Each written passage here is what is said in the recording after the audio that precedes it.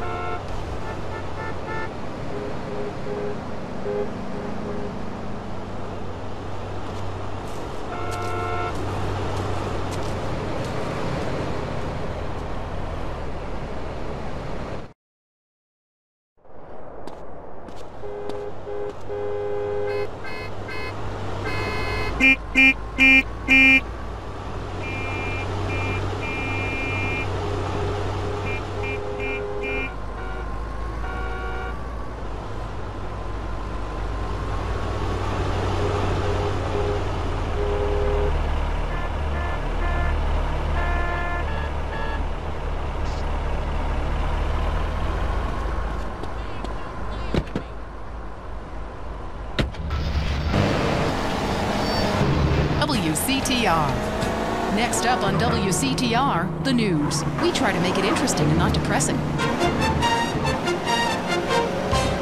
This is Leanne Forget, WCTR News.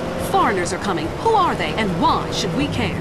The FDA warns shampoo is killing your unborn child. Plus, protests continue outside the Zebra Bar Candy Company. Now for traffic and transit with Richard Burns. That's right, Leanne. I'm Richard Burns. The aftermath of the devastating earthquake continues. Travel is still severely restricted statewide. Officials say there are still no reported casualties, which is truly unfortunate as it makes for incredibly boring news. The federal government is still refusing aid to help rebuild bridges, and everyone is blaming each other. The governor is threatening to bomb Australia, despite scientific proof it wasn't their fault. Richard Burns, WCTR. Police say gang trouble is on the rise again, especially in Los Santos. Sources believe it is linked to the rising drugs trade, while others blame the fascist pigs. Also in gang news, customs.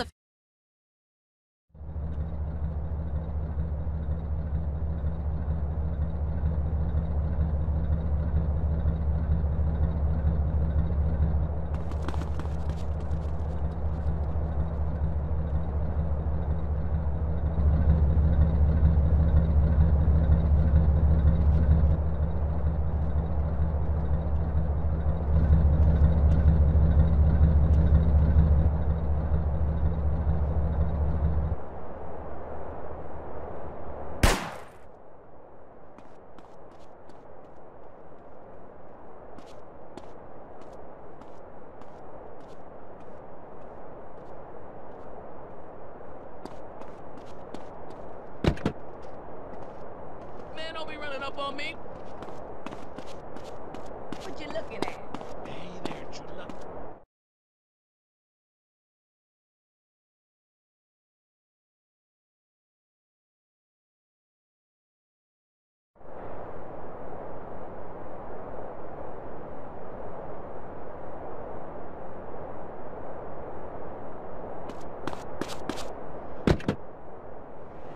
News. Let's be careful. Coming soon to the Los Santos Convention Center, it's Mike Andrews. Understand that it's okay to be poor. There need to be poor people. We rich are the yin, you are the yang. We need you. He's changed millions of lives with his book, Rags Are Riches. Now hear Mike Andrews live. Mr. Andrews, I- I've had a run of bad luck, and I was wondering if the state could help me get back on my feet. This is the negative kind of self-obsessed and greedy talk that doesn't help anyone. My program will teach you a new outlook on life. Instead of complaining about being poor, enjoy it. Watch TV. Don't vote. Who cares? But I'm homeless. You've got it all wrong. Society doesn't owe you anything. The government has better things to worry about, like killing innocent people. You already have everything you need, so enjoy your life. See Mike Andrews live for only $200, payable in 10 installments. Reserve your seat today. Up next on WCTR, it's the man coaches hate. It's Derek Thackeray in the tight end zone. brought to you by Eris Pump Up Shoes because women love a winner and winners wear shoes. We uh, start with the national anthem? Uh, yeah, screw it. Yeah, I got, I got too drunk last night. Just uh, play the opening music. One, two. Welcome back to the tight end zone. Now it's time for something really important. Fat men talking about games they don't really understand, played by people they I'm your host, Derek Thackeray. What a great year it's been. Let's. Scandals involving preschool soccer moms. and the national finals, rich and popular people are fighting it out. Pay attention. The country is in mourning. And most importantly, sportswear. We talk to a fitness expert about the crucial role of endorsed clothing. And who could forget, we visit the greatest He's in the shadows. There he is. Is he going to make it? Yes, he did. Ladies and gentlemen, what you have just witnessed is the biggest moment in world history. Who cares about a Declaration of Independence or discovery of penicillin? You have just seen one man score a point. When the rest of the world discovers TV, he'll be able to see this. Wow, isn't that amazing? He did what he was paid to do. We love sports more than you love it or loathe it. Let's talk about it. Stay in the tight and let's go to the phones. Yeah, the Wolves! Hey, Derek, my name's Jason, and I'm a Wolves fan. First-time caller. I don't vote, I can't be bothered. But I will kick your ass if you disrespect my sports team. Okay, the Wolves. That's team playing sports as if they cared. Yeah, the Wolves! I don't care who's sleeping with who on the team. Yeah, I'm with you, buddy. Okay, let's take another call. Who's on the phone? Hello, caller. You're on with the tight end of radio. Hey, I'm a big Olympics fan. Always have been, since day one. Been to every one. Me too. I love the games, especially the luge. Ah, I'm married, so uh, sliding down.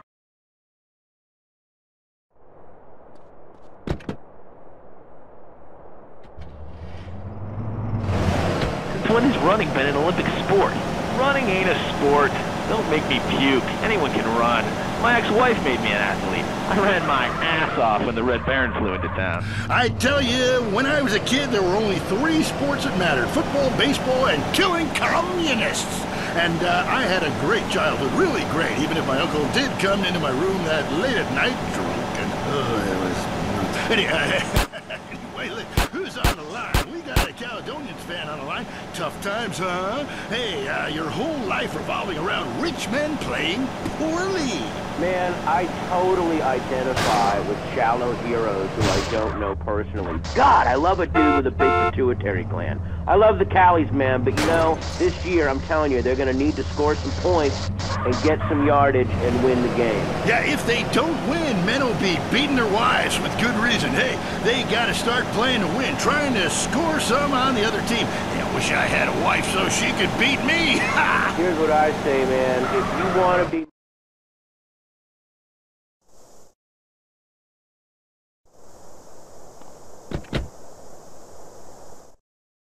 Things get really complicated. Man, I was at their training camp this spring, and the mood in the locker room, dude, guys were getting changed, man. I mean, they were really getting prepared. Shoes were going on, feet, shirts were going on, the shirt part of their body, serious faces on them, and you could tell that they were going to play this game.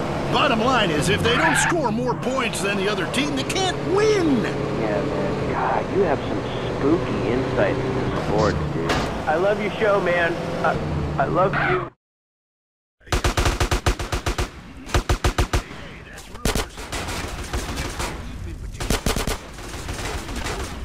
In front of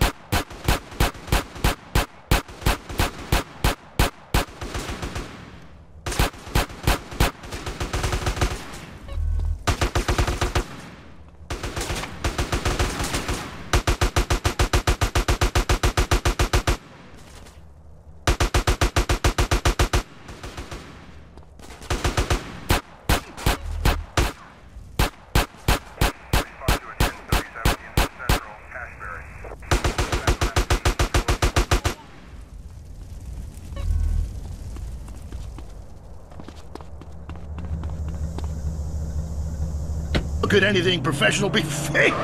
hey, there's too much money at stake for one thing. I mean, these guys got too much to lose. I mean, why is a guy gonna take a dive for a few extra million when he could earn that over a number of years getting his brain turned to pulp? Be serious for a minute. The clock is counting down again. It's time for Derek to head to the locker room and celebrate in the shower. we'll see you next time. Bring a cooler full of beers and get ready to riot. This has been the Tight End Zone.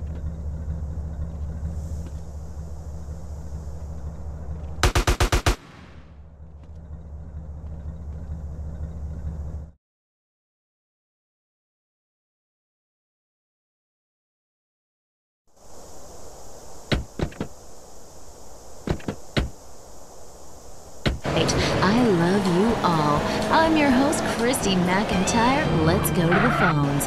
Hi, Christy. My wife and I love your show. It really helped. Aw, thanks. Do you want to tell us about it? Uh, no. Okay. Jenny on the line from Santa Maria. Hi, Jenny. How's your heart? Broken, like my arm and two of my wrists. What happened? I married my childhood sweetheart, but it all went wrong. He's become a drunk, and he has a substance problem too. And now he beats me every day. Stay with him, honey. After all, you're only lonely when you're alone. But he keeps threatening to kill me. Jenny, do you know the meaning of the phrase homewrecker? No.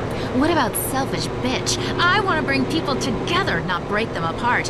Who's on the phones? It's a big, lonely state out there. Careful on, Mary. I'm watching you right now in the shower. Notice how many lonely hearts are lunatics? You wonder why, or perhaps not. Brian from Las Venturas. Hey, dude, my name's Brian. I'm calling from Las Venturas. I want to talk about my heart. Why do men just repeat back what you say and never listen? Are you brain dead, Brian? Oh, actually, it's ironic that you say that because my wife's been brain dead for years now. Oh, so sorry. I seemed all insensitive for a second there, possibly ruining my career. Would it help if I slept with you? Oh, probably not, dude. No, she wouldn't even notice me. I get away with it all the time now.